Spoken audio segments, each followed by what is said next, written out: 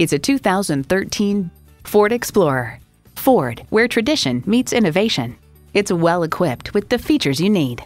V6 engine, front heated leather bucket seats, streaming audio, configurable instrument gauges, dual zone climate control, power heated mirrors, external memory control, aluminum wheels, doors and push button start proximity key, and automatic transmission.